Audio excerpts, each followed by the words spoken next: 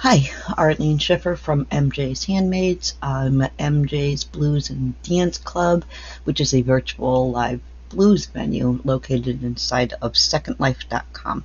Look us up. We're on in, uh, Intuitive, the sim called Intuitive. Um, today I'm going to show you a, a go-to snake weave that I use. Um, uh, there's a lot of different kinds of weaves that people use for snake skins or the snake skin type look. Um, this is just a an easy old style that I always turn to. Um, it does require more than two wires. You're going to need more than two. And your uh, weaving wire, you're going to start from the center of it. So um, any size gauge wire you want to use. Today I'm going to show you how to do this being it's just a practice tutorial. I'm using 20 gauge wire.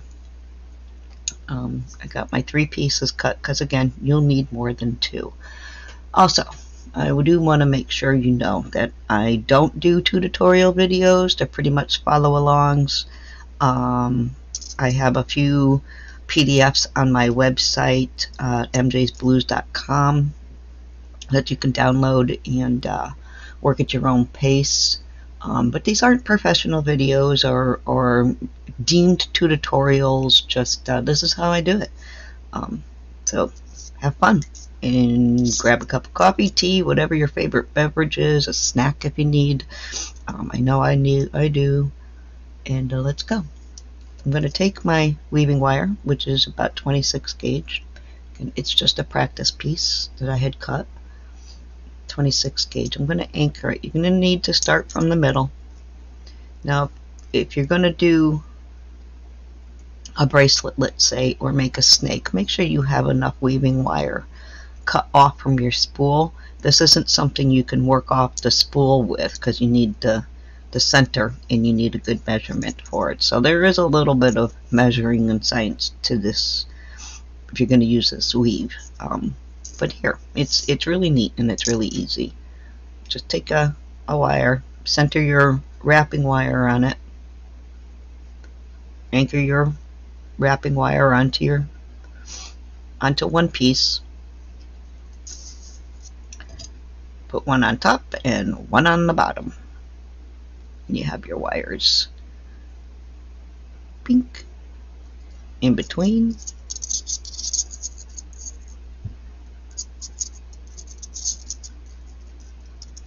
And what you're going to do with these, again, you need more than two wires for this.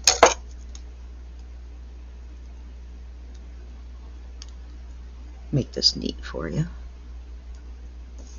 Neat. Neat enough, anyways. And this is all you do. It's this simple. You might want to go around, anchor it just with one wrap, because it's going to look a little funny. It's going to have a separation. But I did that just to anchor it, and you can see what's going on. Get it down a little bit more. Okay, going to take one and bring it over. If you start with the top, wrap around the first two wires all the way around. With your second wire, you go with your bottom two wires and you wrap like so. And you just keep doing this pattern.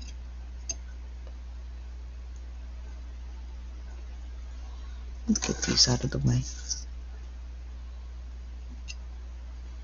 And you get kind of a snake weave even similar to a caning look, you know? You know how to cane uh, patio furniture.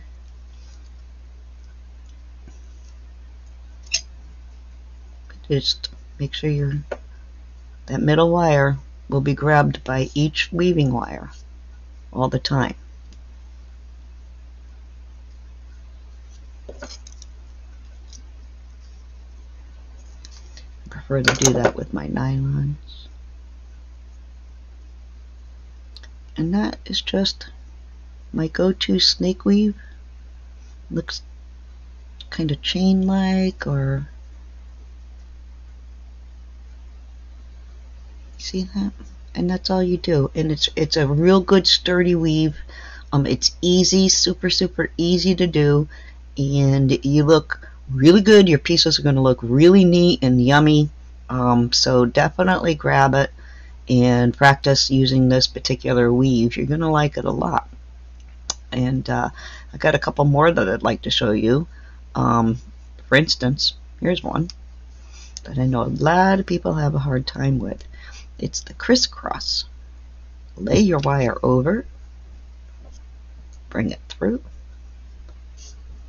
bring it in between so you have an anchor,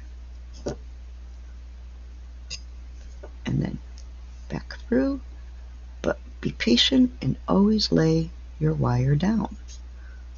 Now, people don't do that.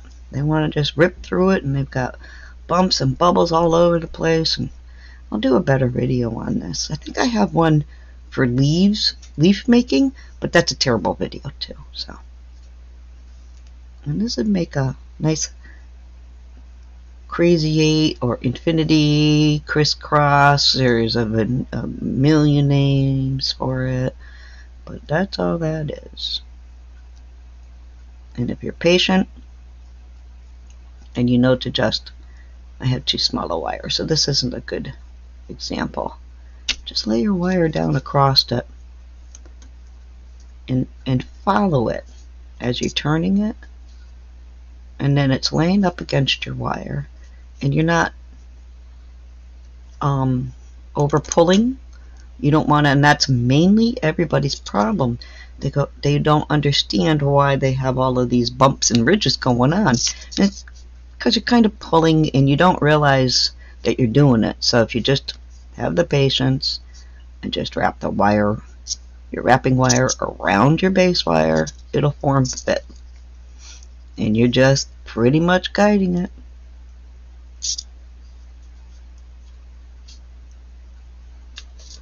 That's it. Um, but yeah, this snake weave, I hope you get, uh, I hope you're able to see something there.